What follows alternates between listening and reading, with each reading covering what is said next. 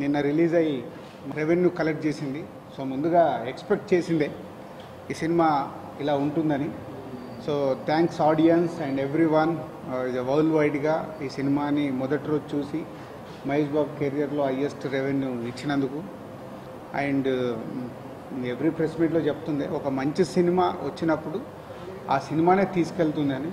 And అందరి channels వాళ్ళకు కూడా చాలా థ్యాంక్ యూ. నిన్న సినిమా చూసి మీరందరూ మీ రివ్యూస్ మీ కామెంట్స్ కూడా నైట్ నాకు నిన్న చాలామంది పంపించారు.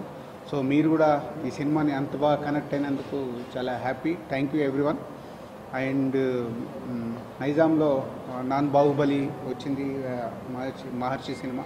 అలాగే ఆల్ ఏరియాస్లో ఆల్మోస్ట్ నాన్ బాహుబలి కొన్ని ఏరియాస్ ఉన్నాయి.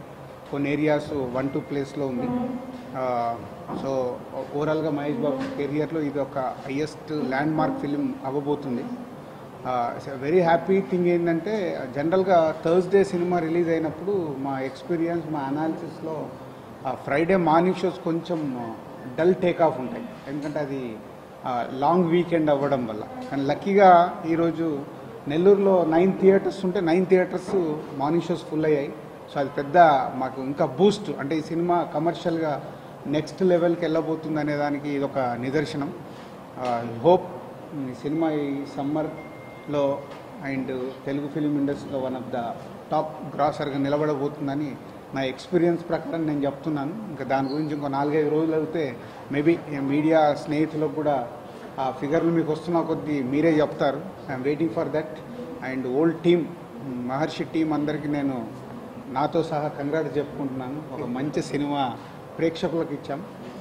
నిన్న రిలీజ్ అయిన తర్వాత కొంచెం అంటే ఇట్స్ న్యాచురల్ ప్రతి పెద్ద సినిమాకి అది ఉండేదే. ఫస్ట్ హాఫ్ ఎక్స్ట్రాడినరీగా ఫీల్ అయిన వాళ్ళు కొంచెం సెకండ్ హాఫ్ స్లో అనిపించింది. అండ్ మళ్ళీ లాస్ట్ హాఫ్ అన్ అవర్ ఎక్స్ట్రాడినరీగా ఉంది అని స్టేట్మెంట్స్ వచ్చాయి. సో ఫైనల్గా సినిమా అంత ఎలా ఉందనేదే నా క్వశ్చన్ ఎప్పుడు. ఫస్ట్ హాఫ్ బాగుంది మనకు కొంచెం సెకండ్ హాఫ్ ఇలా ఉంది మళ్ళీ క్లైమాక్స్ బాగుంది. ఆడియన్కి అది ఏమి ఉండదు. ప్రేక్షకుడు సినిమాకి వస్తాడు. బయటికి వెళ్ళేటప్పుడు ఒరిజినల్ ఫీల్ ఏంటి ప్రేక్షకుడు అనేది సినిమా ఇంక్లూడింగ్ మాతో సహా.